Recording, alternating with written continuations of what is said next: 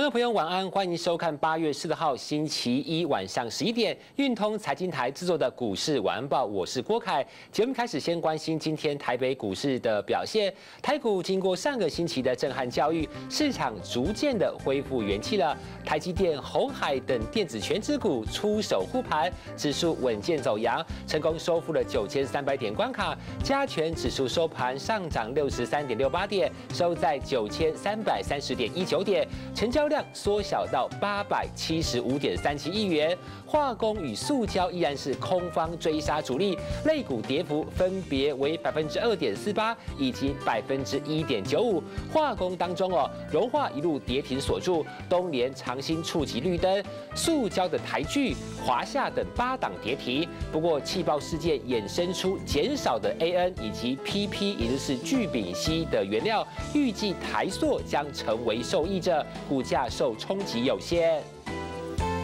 今夜重大财经讯息，金融哦，全球的一个市场震荡，主因是因为阿根廷陷入了主权债务违约困境，葡萄牙银行爆发了财务危机，让全球乌云罩顶，冲击欧美股市纷纷回档，导致与股市联动性高的金融股今天也展开补跌，由富邦金、国泰金两大龙头开盘带头回跌，类股指数跌破了一千一百点大关，现行转趋弱势。太阳能族群股王硕和今天除夕开高走高，盘中涨幅超过百分之六，逐步迈向填息，表现亮眼，带动了太阳能族群逆势走强，预期有超过百分之二的涨幅。而茂迪、新日光则是在盘中顺势由黑翻红。由翼龙电、新唐等 IC 设计厂都试出了第三季 PC 市况乐观的讯息，因此键盘控制 IC 厂迅捷，由于和 PC 产业的联动度很高，再加上无线充电的产品出货在即，股价在盘面上表现亮眼，甚至呢是冲上了涨停板。检测设备厂德律打入了苹果供应链，自动光学检测仪以及自动测试仪等设备拉货供不应求，激励了七月份的合并营收大跃进，冲高到了十点六九亿，改写历史新高。这所以啊，今天股价涨停板开高哦，在而且在两个小时内呢，就震出了将近有八千张的巨量。根据市调机构的一个调查哦，由于台湾中元节普渡的商机超过三百亿台币，吸引了各大的食品业者加入战局，甚至连通路业者、网购业者也都加入，也让十大的中元节概念股，包括统一、爱之味、全家、润泰新、商店街、网家等个股，成为市场上的新宠。反在期货的布局，三大反的买卖超排名，外资买超了十一点零三亿，投信买超了二点九六亿元，而自营商买超了十点九六亿，三大法人同步买超了二十四点九七亿元。详细一同来关心。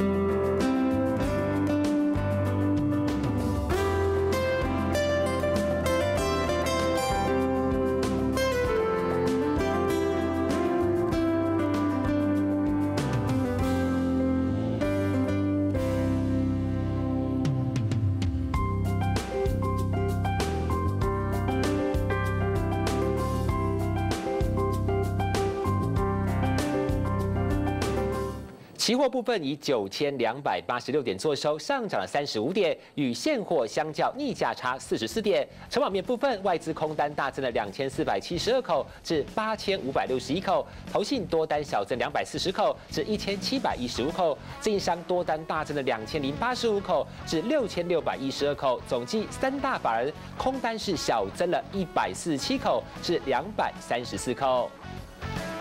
这台北股市表现，外资法人观点的部分，外资证券呢是纷纷提出了报告，表示台股近期的回挫只是因为个别企业的财测表现有好有坏，不过这个跌势啊反而提供投资人加码优质企业的机会。其中认为日月光目前的股价来到诱人的位置，因此强烈的建议投资人买进。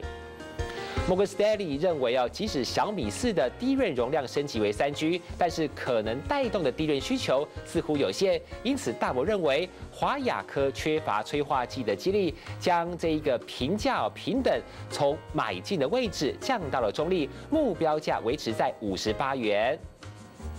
隐形眼镜龙头 F 金可上半年税后大赚了七点四一亿，每股盈余来到八点零亿元，创下历史新高。美林证券以及摩根斯丹利都认为金可在高获利下股价遭到了低估，因此全力喊出买进。接着是今天台北股市的强弱事故。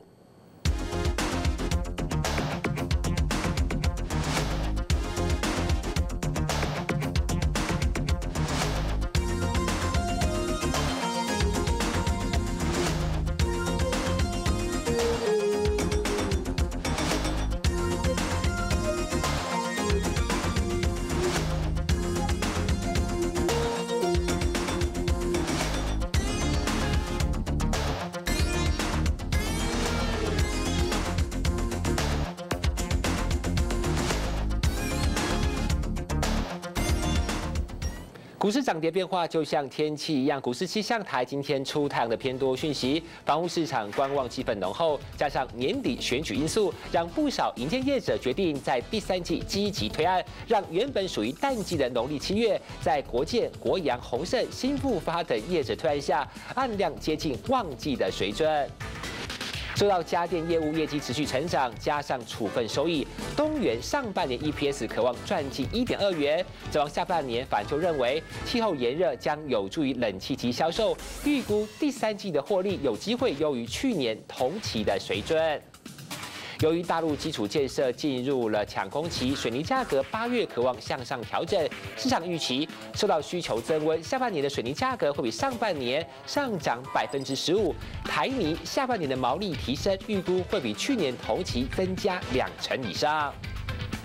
根据交通部统计，七月汽车领牌突破四点五万台，创下二零零五年以来的同期新高。其中，和泰车七月领牌数比去年同期成长百分之十七点四，达到一万六千辆，累计前七个月市场占比高达百分之三十三，稳坐汽车销售龙头宝座。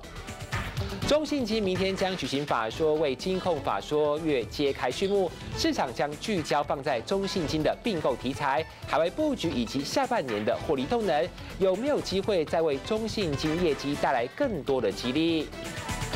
背光模组厂中光电第二季财报报喜，每股赚一点一二元，创下了二零一零年第四季以来的新高表现。累计上半年每股税后盈余是一点七四元，推升中光电脑上周的股价逆势抗跌，今天是延续走势强劲，一度站上了四十元的关卡，是三个多月以来的新高纪录。以上是台北股市表现，稍微休息一下，马上回到节目现场。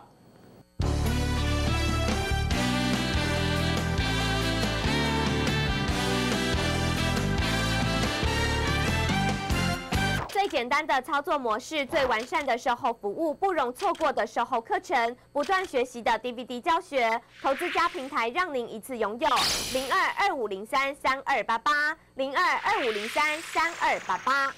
传承市中心永恒价值，超值蛋黄区，信义金门牌，Art Deco 鎏金艺术，三百六十度城市环境。捷运信义线广慈预定站前，一层一户，全新完工。信义计划圈，假山林丰益，二三四六五五一一。森田药妆高纯度玻尿酸面膜。森田药妆。华珍月饼即日起至八月十七七五折优惠，赶快把握机会哦！请快拨打二九七五三三一零二九七五三三一零。在我们遭遇紧急伤病的时候，还好有这些医护人员的照顾。他们牺牲与家人相聚的时间，只为了给我们最好的医疗服务。感谢每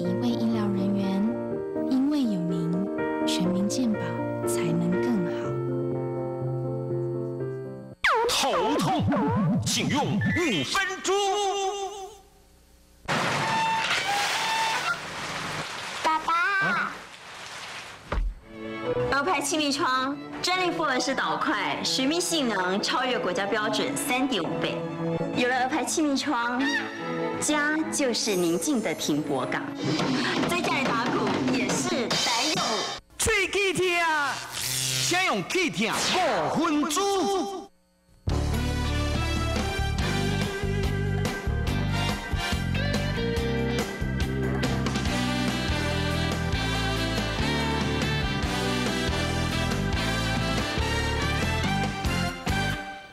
回到股市晚报，我是郭凯。新台币端美元汇率今天收盘升值了二点九分，达到三十点零四零元兑换一美元做收，成交金额六点二八亿美金。有关国际汇率数字，一起来看看。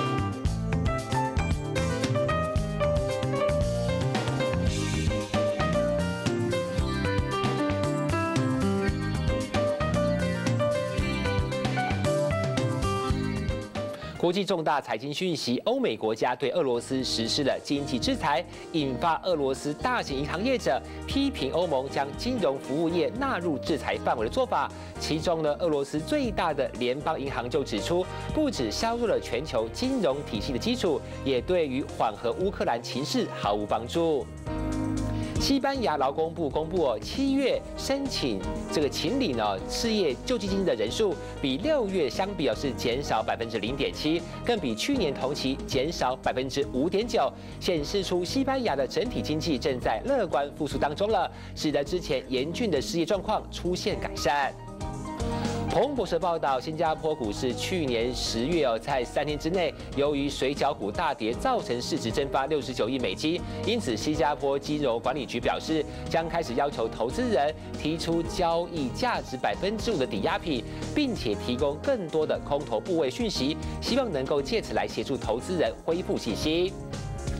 日产、三菱两大日本车厂宣布将成立合资公司，携手打造业界售价最亲民的小型电动车。日经新闻指出，如果研发进度顺利，新电动车预计可以在二零一六年上市，售价预期可以压低到一百五十万日元左右，大约是四十四万新台币，相当具有市场竞争力。亚洲股市最新消息：中国大陆股市今天是由金融与大宗商品股带头上攻，指数登上了八个月以来的新高点。详细数字一同来关心。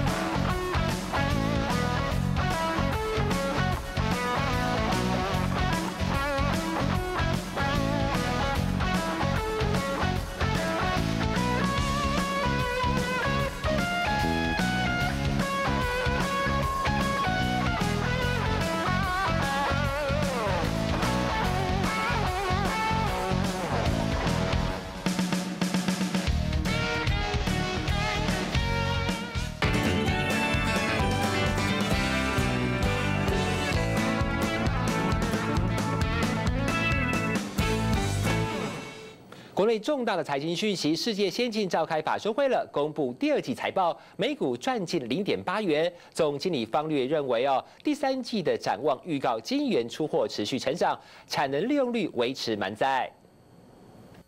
晶圆代工厂世界先进公布第二季产能利用率达到百分之一百零四，出货比第一季成长三个百分点，毛利率站稳百分之三十八。总经理方略公布第三季营运展望，维持乐观看法。由于客户在本季仍然维持不错的晶圆代工需求，在加季晶圆三厂既有客户的订单以后，我们预期晶圆出货量与上一季相比将季增约六到八个 percent。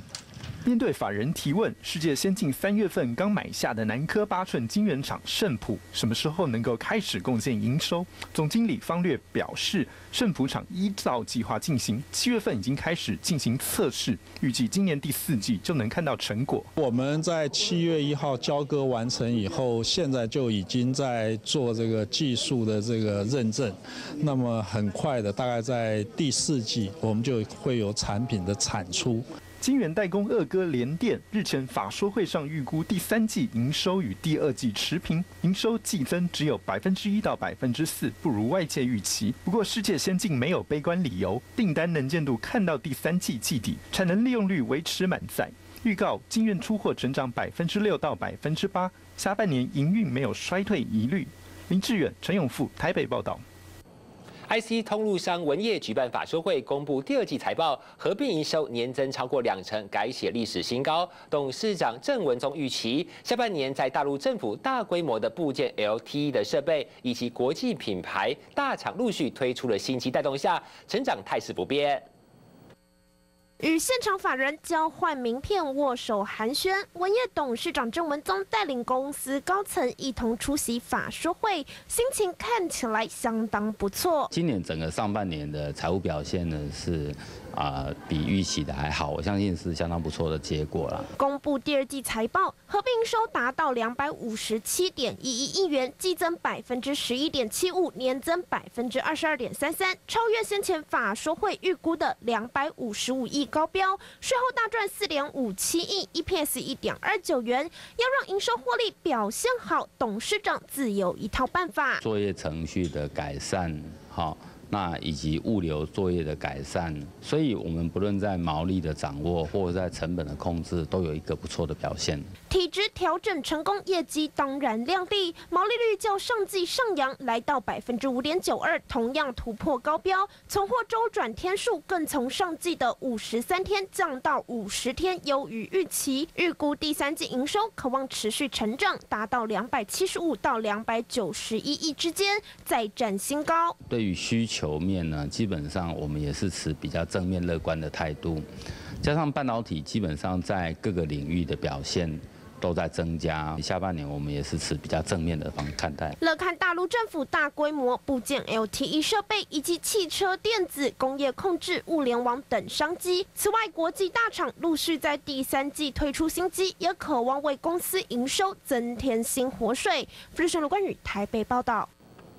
手机品牌厂三星、Sony 纷纷陷入了产品动能趋缓的苦战。三星发布最新一季财报，获利出现了二零一一年以来首度下滑，坦言下半年的倍感压力是出现了。Sony 则是下修了全年智慧机预估，从原来的五千万只下修到四千三百万只。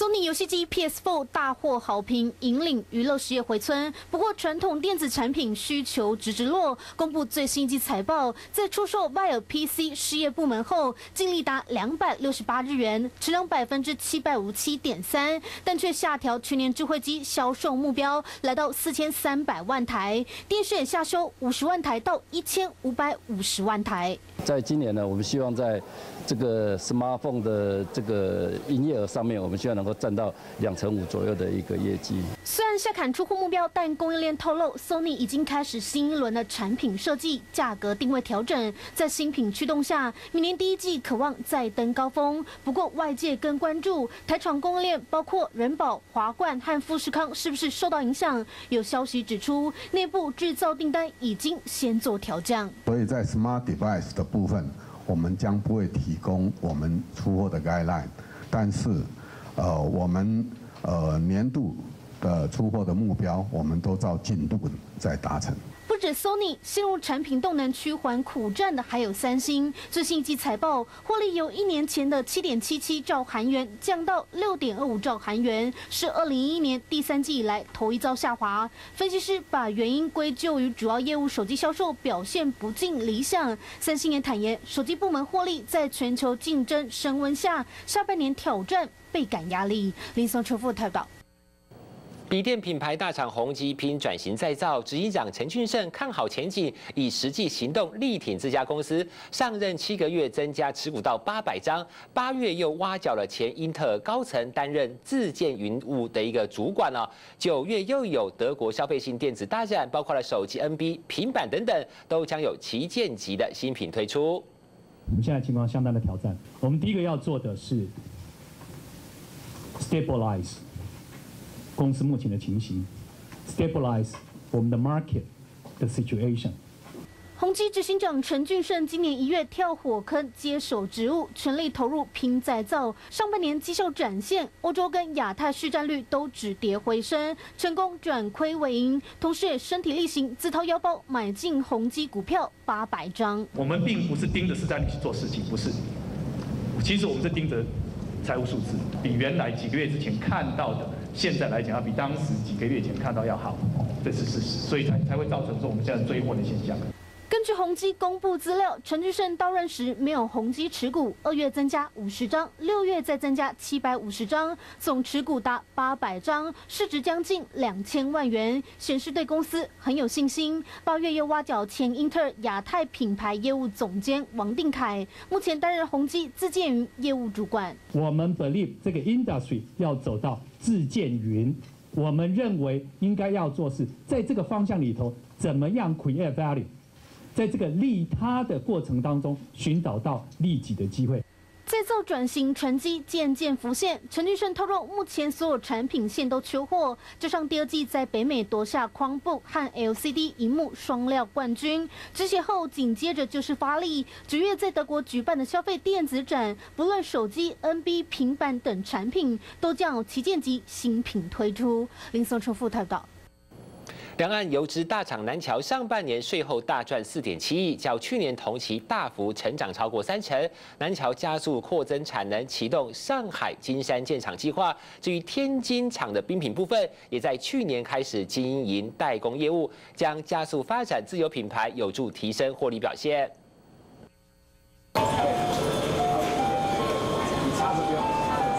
冰品热卖，供应商南桥启动扩产计划。尽管早在桃园厂投资两亿元增设产线，依然供不应求。规划再新增两条饼皮产线，分别在年底前、明年初渴望全数投产。预估新增的投资额至少亿元起跳。以进入我们台湾的业者过去啊，三五年里面。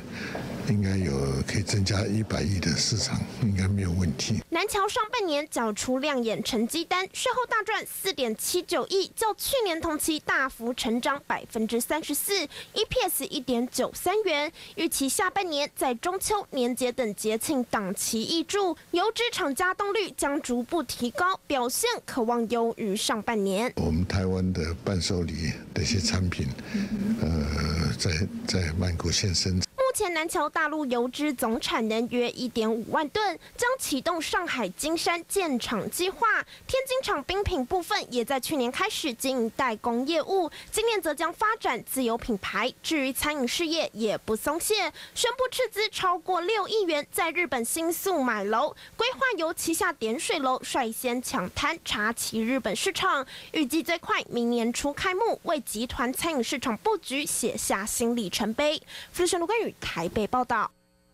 隐形眼镜双雄上半年财报出炉，双双改写历史新高。金可上半年税后纯益突破七点四亿，较去年同期大幅成长，EPS 缴出了八点零亿元。金可强调，未来将持续利用双品牌策略，瞄准高端产品，火力全开。摆脱眼镜框架，戴上隐形眼镜，方便性以及美观深得不少消费者青睐。F 金客社会过去五年，集团营收复合成长率超过两成五，获利复合成长突破三成以上，持续站稳大陆市场龙头地位。各种对中国市场的预估很多，基本上我们的预估会比。呃其他的市场的的成长还要再高。公布上半年财报，营业利益九点零五亿元，年成长高达百分之三十六，税后大赚七点四一亿，EPS 八点零一元，改写新高。其中第二季税后盈余四点零五亿元，与去年第三季历史新高的四点零八亿元相差不过三百万元，营运动能强劲。从这个使用人口的增加跟长周期转成短周期这个动力加起来是很大的成长，未来在高阶市场的布局会更完整。对手精华表现也十分亮丽，上半年税后净利八点七二亿元，年增百分之十六点四五，EPS 十七点三一元。由于隐形眼镜的高毛利、高成长性，近年来也吸引不少电子科技大厂，包括硕和、能绿、明基、友达、大力光等厂商前进布局。想要跨界捞好处，能不能在同业中杀出一条血路，就得各凭本事了。富士新闻关宇台北报道。以上是重大财经讯息，我们稍微休息一下，马上回到节目现场。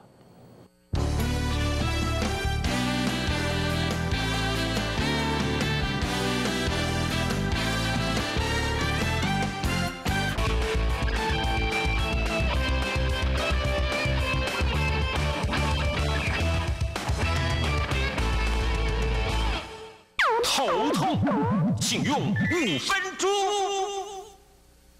下沙下沙只要四折，轰天雷买一送三，感恩回馈大放送。即日起参加轰天雷终极实物班专案，让你可以学到轰天雷的观盘技巧，逐步掌握操盘精要。了解更多，请速拨零二二三六五三二五五。吹气听，先用气听五分钟。瞧，谁说了算？我是物流专家，让全球热爱 MIT 产品。Was okay, very good. 我是 Dr. Beauty，让世界都变美。我是 Happy 达人，让香蕉皮变成抗忧郁保健食品。自由经济示范区才是台湾的潮，既在地又有竞争力，一起潮吧！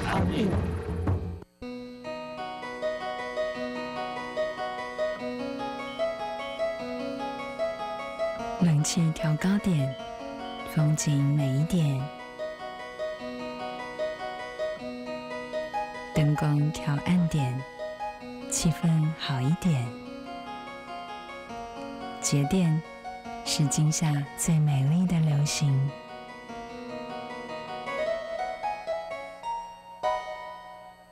森田药妆高纯度玻尿酸面膜。华珍月饼即日起至八月十七七五折优惠，赶快把握机会哦！请快拨打二九七五三三一零二九七五三三一零。最简单的操作模式，最完善的售后服务，不容错过的售后课程，不断学习的 DVD 教学，投资家平台让您一次拥有。零二二五零三三二八八，零二二五零三三二八八。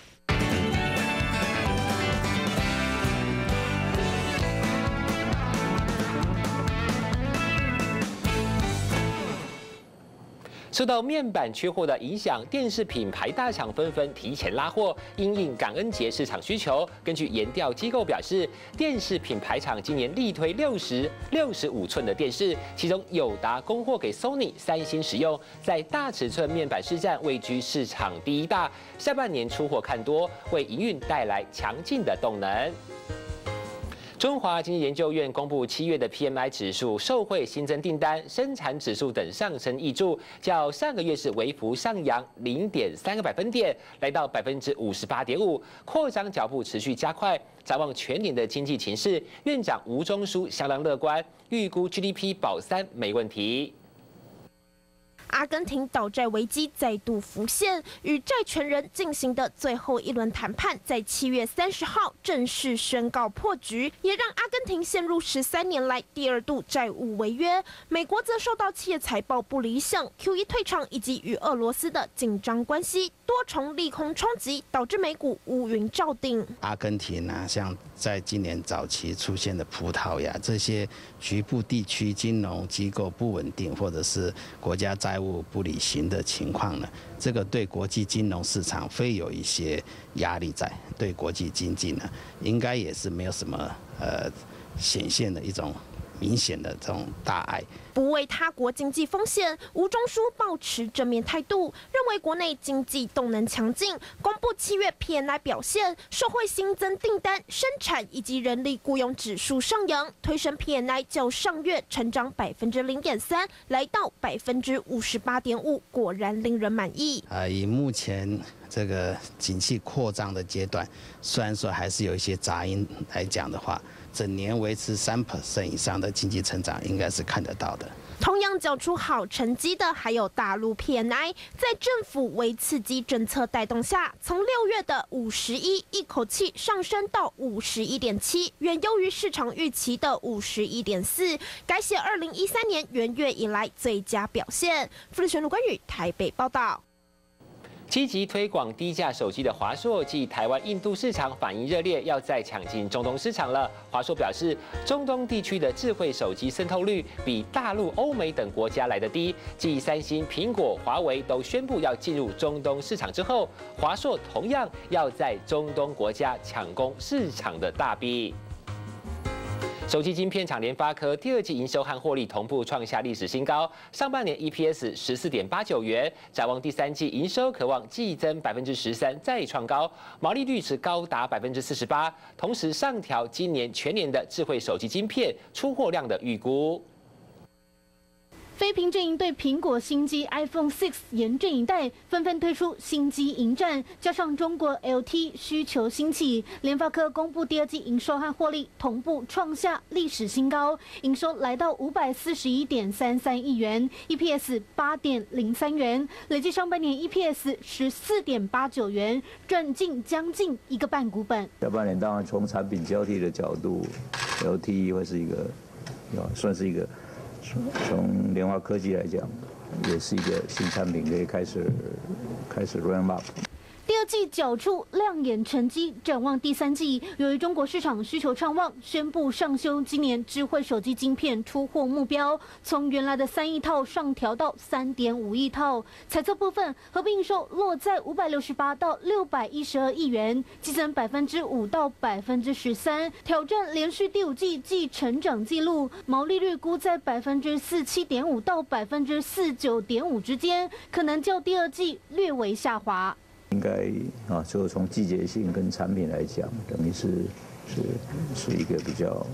展望上是不错的。另外，面对竞争对手高通在中国推出四 G 晶片，犀利价格抢势，联发科认为市场竞争永远存在，不会特别打价格战。不过，高通推出的犀利价格却遭到大陆调查，疑似涉嫌垄断。一旦被认定属实，将面临最高人民币七十亿元，折合新台币约三百四四亿元罚款。林松重复台报。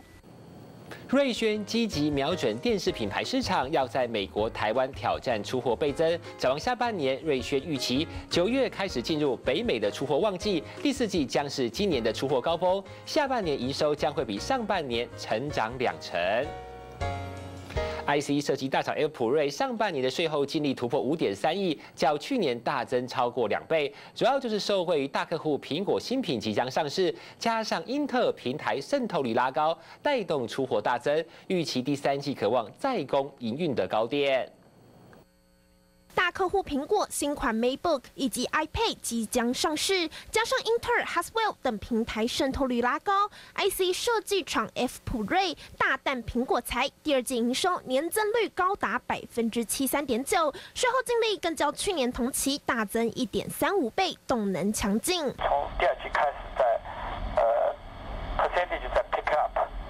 嗯，那逐渐在第三季、第四季的逐渐。看到越来越多的 model 在用这个这个 EDP 的。第二季表现稳健，推升上半年财报超抢眼，营收二十七点五八亿元，年增百分之九三点一。虽然毛利率小幅下滑五个百分点，但累计上半年税后净利仍达到五点三五亿元，较去年同期成长超过两倍，EPS 缴出七点二二元。同样身为苹果供应链，另一大厂瑞仪表现较不理想。第四 Q 的时候，我们在有一些产品，像 notebook 跟 TV，有一些新的这个机种都要开始量产，所以我们看得到，在今年四 Q 这个营收还是会继续往上。第二季营收下滑，来到一百零七点四一亿元，创四年来单季新低，但获利持稳，税后净利七点八五亿，EPS 一点六九元，累计上半年 EPS 三点零七元，主要就是受到苹果拉货递延影响，预期九月营收才会出现较大增长，摆脱衰退局面。富士卢关宇台北报道。自动化控制需求强劲，上银七月出货超乎原先预估。上银表示，七月机器人出货突破一百台，预估八九月出货状况更好，下半年业绩逐季成长，全年机器人营收占比可望突破一成。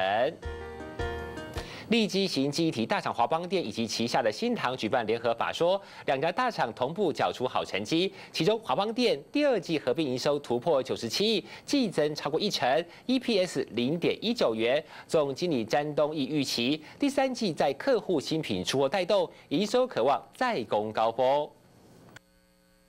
才刚与十三家银行签订五年期的九十亿元连带案，准备大抢穿戴装置以及物联网等低容量记忆体商机。华邦电总经理詹东义又马上在法说会上送出利多消息：这些电子产品在下半年呢，都会有一些新的 model 出来。所以我们认为目前第三季看起来呢，不只是第二季看起来，整个市场的需求啊、价钱各方面都非常的好。我们觉得这个热度会一直延续到第三季。预告第三季在客户新品出货带动下，营收获利渴望双双上扬。其实华邦店六月营收就已经缴出不错的表现了，达到三十三点一三亿元，创近三年来新高，推升第二季合并营收达到九十七点四二亿元，季增百分之十一点三二，税后大赚七点八四亿，EPS 零点一九元。可能会有些波动，是因为有些的新产品在第三季已第三季已经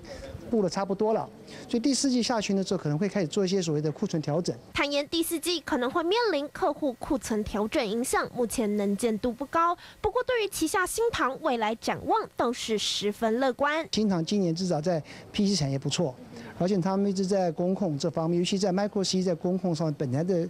市场就是不断在扩大，与公司高层排排坐。新唐第二季税后净利来到一点八亿元，较上季大幅成长三点零七倍，EPS 零点八六元。预期在语音 IC、微控制器以及晶圆代工业务同步成长下，前景看好。富士的关于台北报道。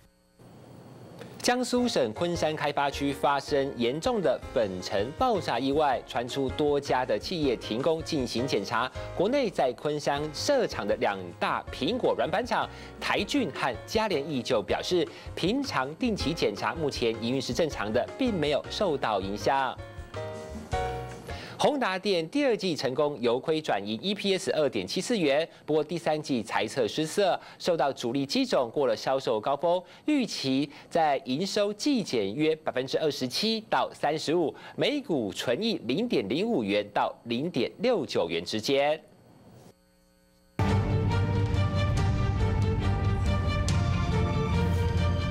一体全新金属机身高通色星处理器。主打双镜头，强化景深功能。宏达电今年三月推出旗舰机 M 八，受到好评。不过销售高峰在五月告终。法说会预告第三季营收下滑，营收落在四百二到四百七十亿元，比第二季大减百分之二七到百分之三十五。EPS 落在零点零五到零点六九元。事实上呢，真的要非常努力，因为面对的挑战哦，不只是。呃，三星、苹果嘛，后面啊有这个华为啊、小米啊等等的哈，这个不仅是在行销方面跟设计方面啊，什么东西都要突破。主力机种过了销售高峰期，宏达电之前的逐季成长之说马上落空。公布第二季营收六百五十一亿元，EPS 二点七四元，累计上半年每股获利零点四六元。现阶段主要目标要维持一定获利，观察第二季在中国、印度市场快速成长。中阶机种 Desire 八六在中国销量甚至超越旗舰机 M 八，希望借以带动第四季营收和获利。从 HT 换 M 八八六。六一零缔造非常好的绩效，如果这个我们的预测很准确的话，在六月份，我想它的绩效会更好。宏达电透露，接下来在中国将有一波新品上市和行销操作，预期第四季在中国出货量可望较第三季至少成长两到三成。另外，印度第三季出货量较第二季倍增后，第四季也能较第三季小量成长。林森重复台报。丰兴钢铁本周报价连续第八周维持平盘开出，丰兴就表示，夏季持续限电，各钢铁厂都利用这段岁休，导致哦废钢需求降低，再加上哦下游的钢筋等成品出货相当正常，相关的产品价格大致稳定。Google 近来积极推广穿戴装置以及框布笔电平台，不过对广告本业一点都不敢掉以轻心。下半年要继续靠着影音平台防堵行动广告收入暴冲的脸书。你很有礼貌，我请你吃些我吃剩的剩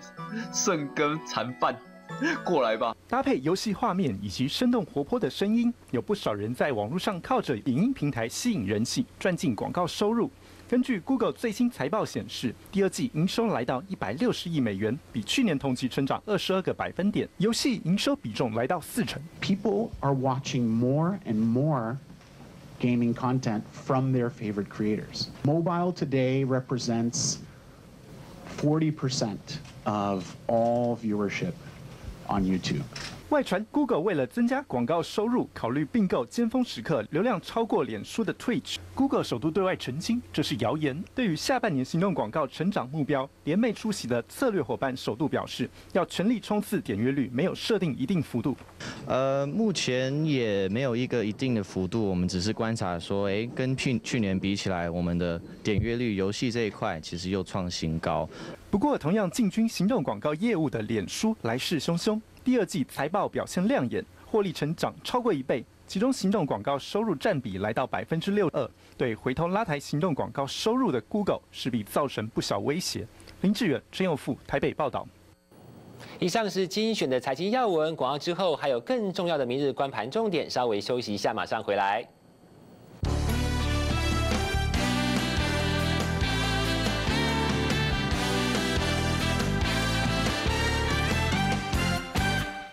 最简单的操作模式，最完善的售后服务，不容错过的售后课程，不断学习的 DVD 教学，投资家平台让您一次拥有。零二二五零三三二八八，零二二五零三三二八八。森田药妆高纯度玻尿酸面膜。森田药妆。华珍月饼即日起至八月十七七五折优惠，赶快把握机会哦！请快拨打二九七五三三一零二九七五三三一零。头痛，请用五分钟。爸爸，欧派气密窗，专利复合式导块，水密性能超越国家标准三点五倍。有了欧派气密窗，家就是宁静的停泊港。在家里打鼓也是得用。吹气听，先用气听五分钟。理财周刊新手赢家日报给您无限的可能，精辟盘势分析，精准火线强股，专业内容值得您信赖。现在订阅十二期理财周刊，加送三个月赢家日报，只要六千八百八十八元。现在来电再享赢家日报免费试阅哦。活动详情请拨打赢家专线零二二三九二六六八零二三九二六六八零。托地公贝啊，我已经找到合格业者，将我那块被污染土地整治好了。但是最近有一个神秘人要用高价租我的地，我可没当周一土地乱租给不明人士，真危险哦。有些人销业者会租土地来晃住了非法废弃物，所以土地除了不能乱租，地主还要常常巡逻出租的土地。那么会造成的污染，地主还可能被关，而且最多可以罚款三百万元。行政院环境保护署关心您。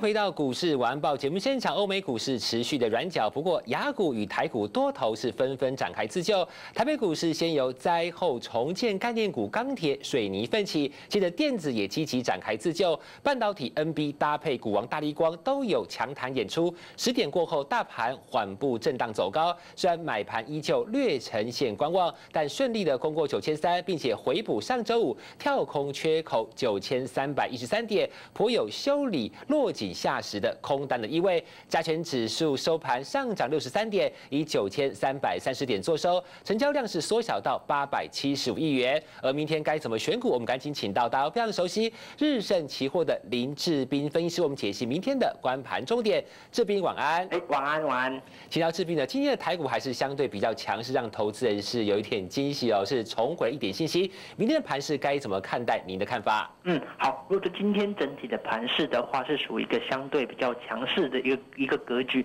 因为今天来讲是属于一个开高，而且红 K 收到最高的一个格局，而且是回补了原本的一个七月三十一号的空，七月八月一号所造成的一个空方缺口，已经要来挑战我们七月三十一号之前的那一根长黑 K 棒的一个位置，而且。今天的一个盘中啊，其实一开始是主要是由电子股这边来做一个比较强势的一个攻高的一个态势的，尤其是在台积电、红海跟大力光三只股票的一个带领之下，整个盘局在开高之后一路的一个向上做一个拉抬和态势，而在午盘过后，其实就转就金融来做一个向上攻坚的一个态势，尤其在富邦金这个部分，其实午盘很明显的去出现一个比较强强势上攻的力道，也将整个盘局哎再度推升突破了九千三百点的一个大关。甚至回补了一个刚刚我们所讲的一个八月一号的一个空方缺口，进入昨夜挑战我们的一个九九七月三十一号的那根长黑 K 的一个态势。但是目前来讲，目前比较需要的担忧的一个部分是主要在于今天的一个量能部分，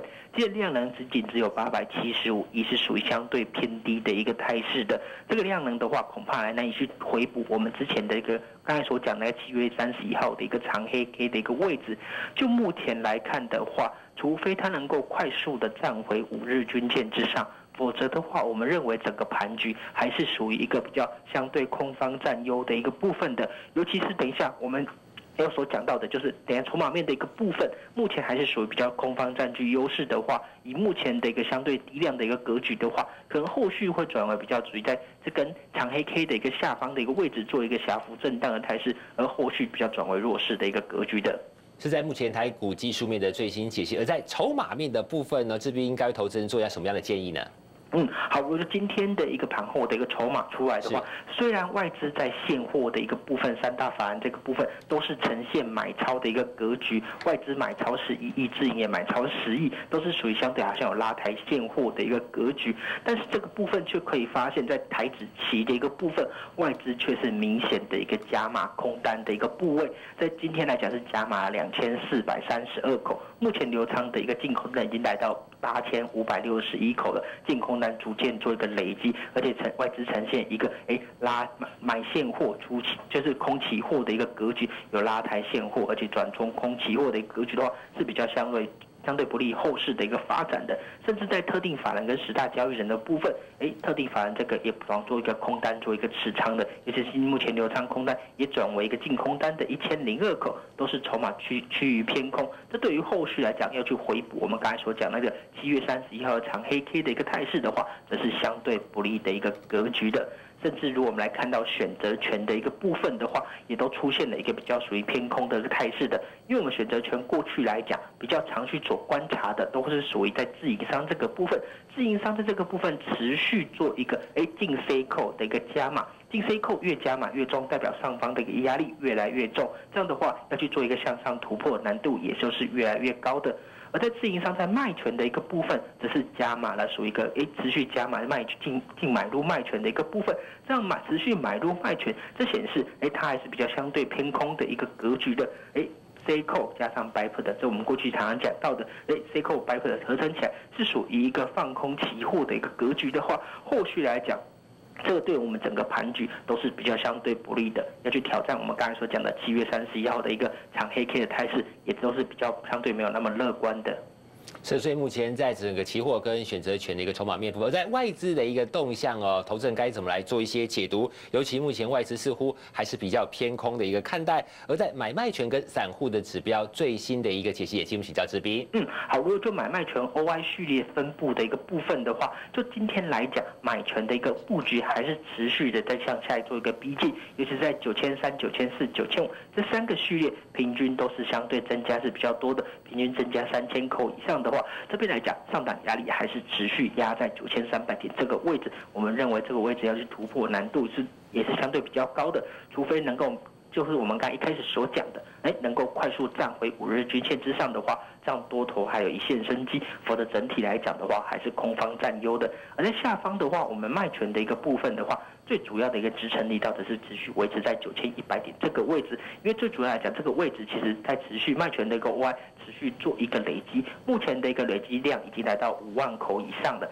这点来讲，哎，九千九千一是处于比较明显的一个下档支撑的一个位置，所以整体来看的话，我们预估在整体震荡区间大概是在九千一到九千五百点之间是比较相对有可能性的。那如果来看到小台散户筹码指标的部分的话，目前的一个散户的一个未平仓量还是属于一个多方占优的一个格局的，目前散户持仓还是属于。所以都持仓持仓多单，这样相对比较多，因为散户还是习惯去呈现一个回档去承接多单的一个布局，所以目前散户的一个多单的一个流仓口数是超过空单将近四十个 percent，这个流仓的比重是相当的一个高的，也显示我们回我们持续指数要做上攻的话，恐怕会面临一些哎卖压的一个呈现，这样的话不利指数上攻，而且在在接下来讲的话，整个指数要做一个攻击的话，难度是会比较大的。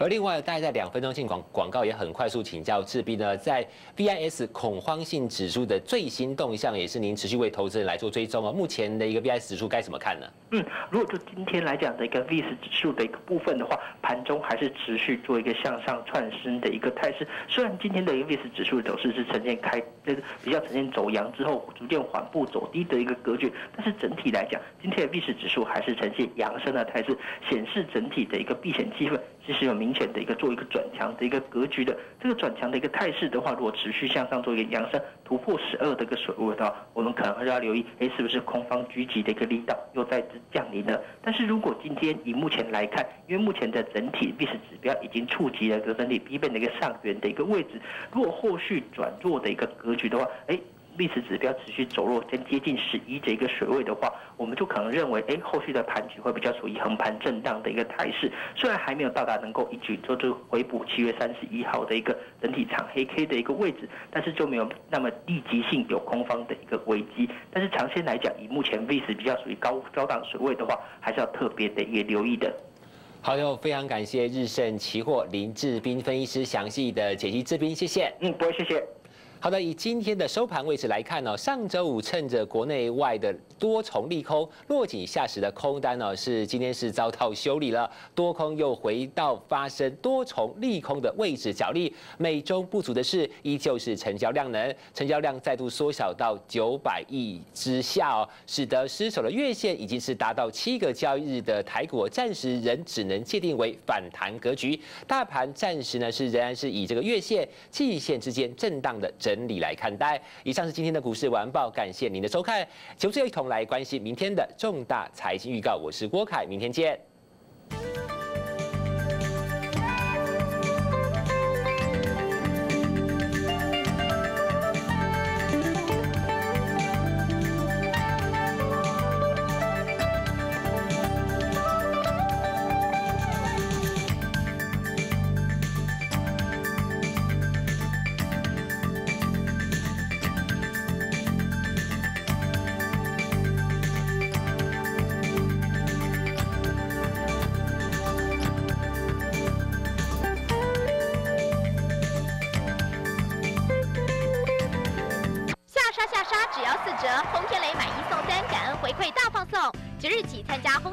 终极实物班专案，让你可以学到轰天雷的观盘技巧，逐步掌握操盘精要。了解更多，请速拨零二二三六五三二五五。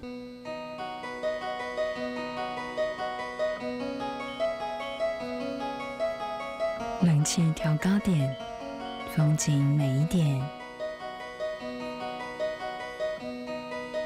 灯光调暗点，气氛好一点。节电是今夏最美丽的流行。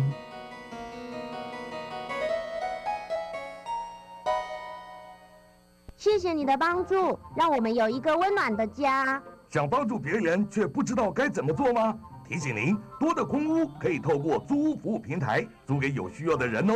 不仅可以免费张贴租屋讯息，最高每年还可获得一万元的修缮补助哦。目前已有六个县市加入租屋服务平台的行列，请上网查询详细说明。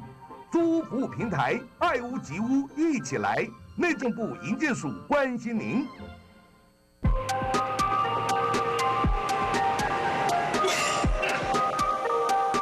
病菌的传播总在无意间。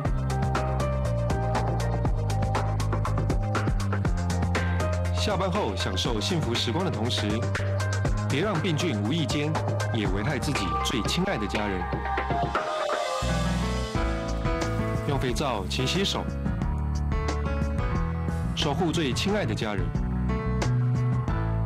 运动员是台湾的骄傲，政府的倾力支援仍然有限，他们需要你我更多的支持。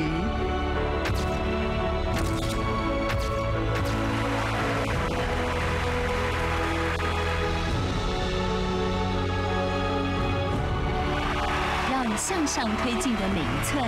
都有你我的一份力量。企业赞助，体育永固。台风季节来临，我们来看看防台准备做得够不够。准备沙包，固定招牌，疏通沟渠，不怕风雨来。勿前往观潮、钓鱼或不当外出。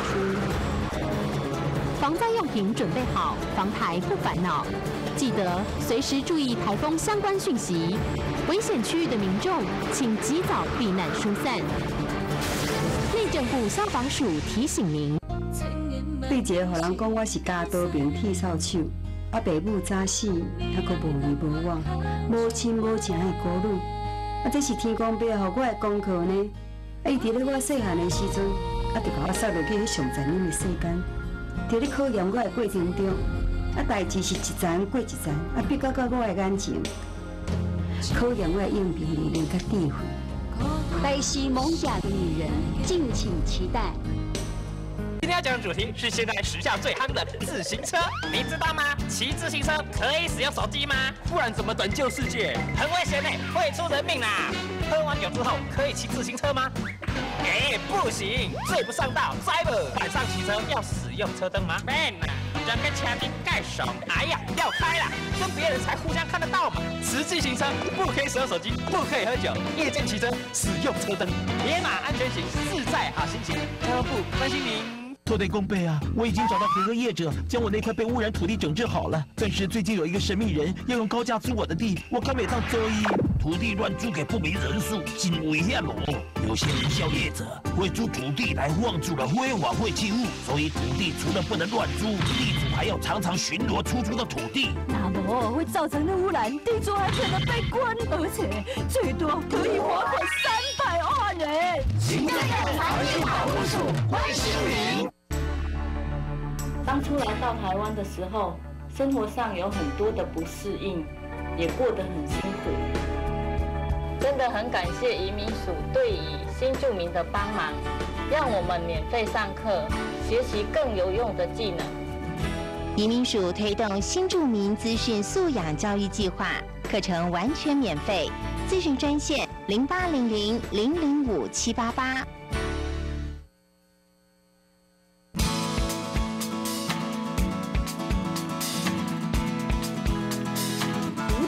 宅，就是为了使行动不便的宣唱者或是生活不便的高龄者，能有一个友善、便。